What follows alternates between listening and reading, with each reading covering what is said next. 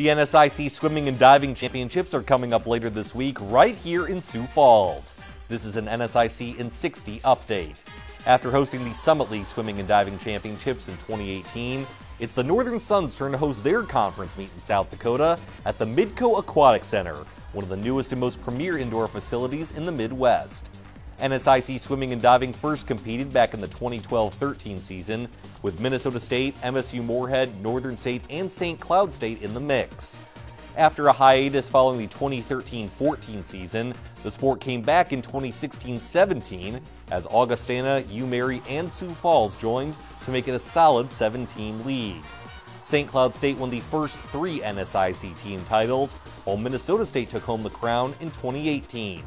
The 2019 NSIC Swimming and Diving Championships will be held from Wednesday, February 13th through Saturday, February 16th.